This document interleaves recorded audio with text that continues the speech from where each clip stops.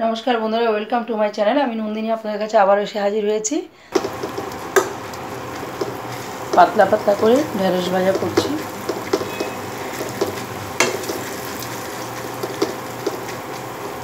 সামান্য হলুদ নুন মাখিয়ে নিয়েছি, তারপরে বানাচ্ছি।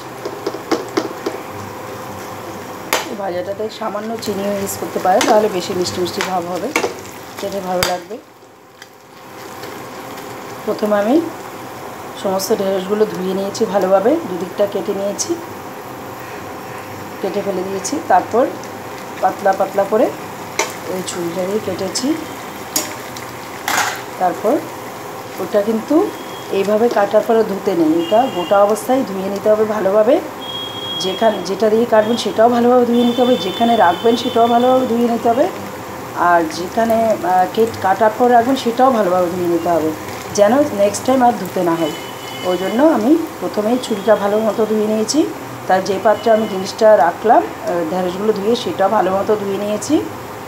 আর যেখানে কেটে রাখলাম সেটাও ভালো মতো ধুয়ে নিয়েছি। তারপরে আমি কাটা হয়ে যাওয়ার পর হলুদ নুন দিয়ে হালকা হলুদ নুন দিয়ে মাখিয়ে নিয়েছি।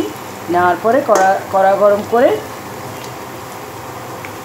তেল দিয়ে, তেলটা যখন গরম হয়ে যায় তখন হলুদ নুন মাখা ঢেঁড়সটা আমি এখানে দিয়ে দিলাম। এবার আস্তে আস্তে ভাজা করছি। তা আমি হালকা চিনি দেব। তো তাহলে একটু মিষ্টি মিষ্টি ভাবটা বাড়বে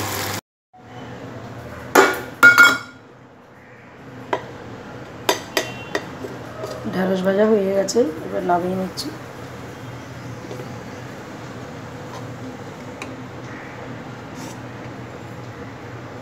তেলটা যেন উঠে না আসে ওই তেল থেকে ছেঁকে ছেঁকে তুলছি। এবার করে এক পাশ দিয়ে চেপে তেলটা বার করে দিয়ে তারপর তুলছি।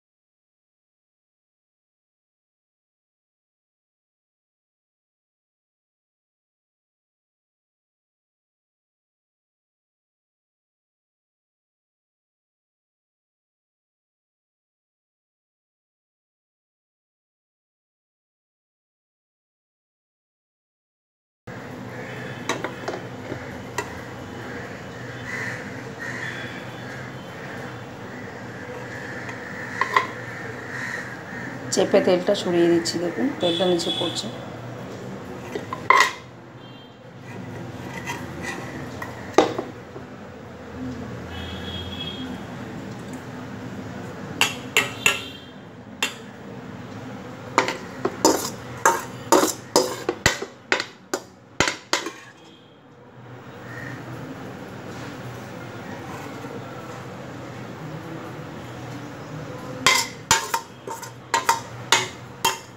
চার পিস মাছ ভালো মতো ধুয়ে নিয়েছি।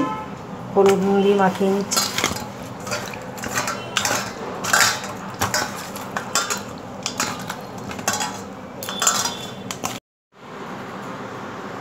মাছ হলুদ নুন দিয়ে ভালো মতো মাখিয়ে নিয়েছি।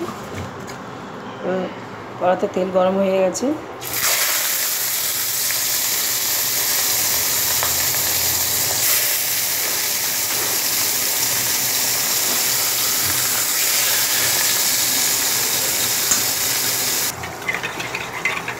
প্রথমে গ্লাসের মধ্যে বিট নুন আর গোলমরিচ দিয়ে দিয়েছি। আর সাথে চিনিও দিয়ে দিয়েছি। বিট নুন, গোলমরিচ, চিনি, তারপরে দইটার মধ্যে দিয়ে দিলাম। তারপরে একটু ফেটিয়ে নিলাম। তারপর জল ঢেলে দিলাম খাবার জল। খাবার জল ঠান্ডা জল মিশিয়ে। দেওয়ার পরে তারপর এখন আমি গুলিয়ে নিচ্ছি, এবার খাব। মাছ ভেজে তোলা হয়ে যাচ্ছে। তিন তিনটে রেখেছি একটা ভাজছি। আর এখানে আলু টমেটো কুচি পেঁয়াজ কুচি আদা ঘষে রেখেছি আর মেরুন করে আলুটা ভেজে তুললাম।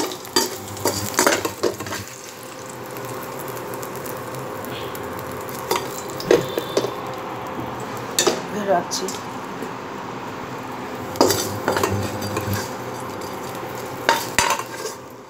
কড়াটাকে কাত করে নিচ্ছি, তাহলে তেলটা সরে যাবে আলু থেকে তাহলে মাছ, আলু সব ভাজা হয়ে গেছে।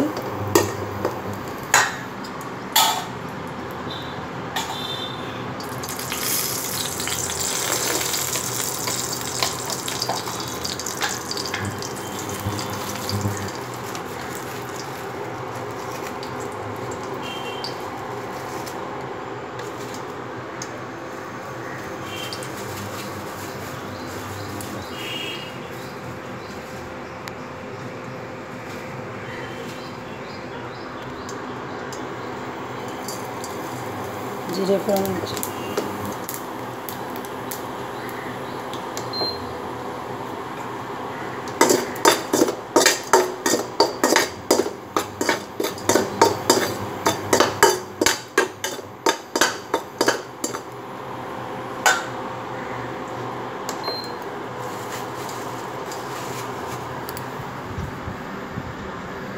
পেঁয়াজ রাখা আছে পেঁয়াজটা দিয়ে দেবো সব পরপর দিতে থাকব।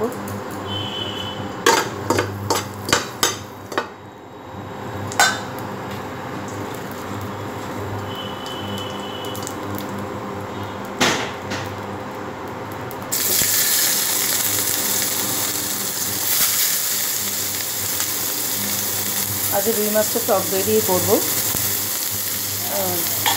টক দইটা আলাদা করে রাখা আছে, এই দেখুন।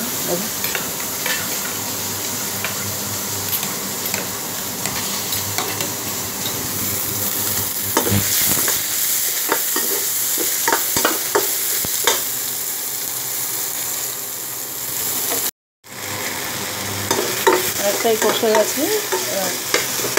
এখানে জিরে গুঁড়ো, হলুদ গুঁড়ো, নুন আর সামান্য চিনি রেখেছি। এগুলো সব জল দিয়ে গুলে দিয়ে দেবো। আর এখানে দইটা ফেটিয়ে রাখা আছে, এটাও পরপর দিয়ে দেবো। সব মিলে একসাথে কষিয়ে নেব। তার ভিজে রাখা আলুটা দিয়ে আবার একটু কষিয়ে জল দিয়ে দেবো। তারপর চাপা দিয়ে দেবো। যখন ফুটে উঠবে, ঝোল ফুটে উঠবে এবং ঝোলটা ফুটে উঠবে এবং আলুটা হয়ে যাবে, তখন আমি মাছ দিয়ে ভাজিয়ে আমি সামান্য জল দিয়ে দিলাম, পোড়া না লাগার জন্য। এবার আমি বাকিগুলো দিয়ে দেবো, এই এগুলো সব। এখানে আমি জল দিয়ে দিচ্ছি, একসাথে গুলে দিয়ে দেবো। এতে টেস্টে কোনো হেরফের হবে না, একসাথে করে গুলে দিয়ে আমি কষিয়ে নেব আবারও। চিনিটা আলাদা করে দিতে পারেন আপনারা, পরে আমি একসাথেই দিয়ে দিলাম। রান্নাটা একটা এক্সপেরিমেন্ট অনেকভাবেই করা যায়। আমি সব দিয়ে দিচ্ছি। এবার আমি আর আবারও কষিয়ে নেব।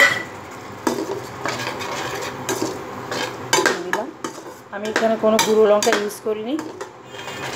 সে কাশ্মীরি গুঁড়ো লঙ্কা হোক আর ঝাল গুঁড়ো লঙ্কাই হোক, কোনোটাই আমি ইউজ করিনি।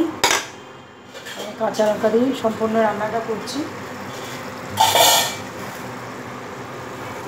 আমি চাপা দিয়ে দেবো একটু। তারপর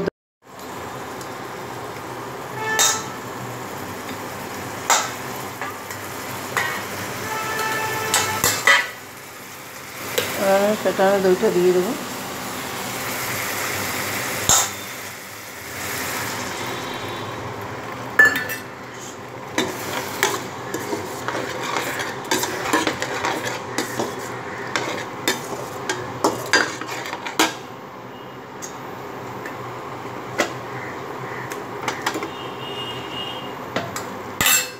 আলুটাও দিয়ে দিচ্ছি।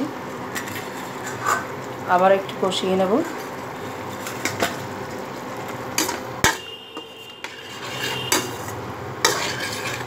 গুঁড়ো লঙ্কা ইউজ করলে একটু লাল লাল হতো কালারটা এটা যেহেতু কোনো গুঁড়ো লঙ্কা ইউজ হচ্ছে না, সেহেতু লাল ভাবটা নেই।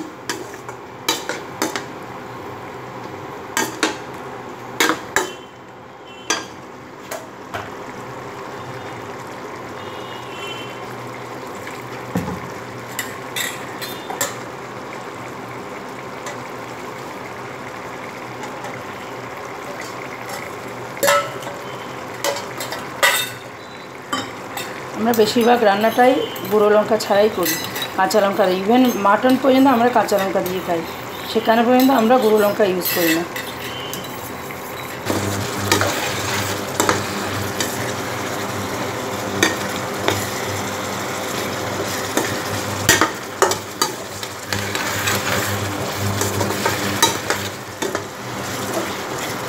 টক দিয়ে দিয়ে পুরোটা একদম কষানো হয়ে গেছে।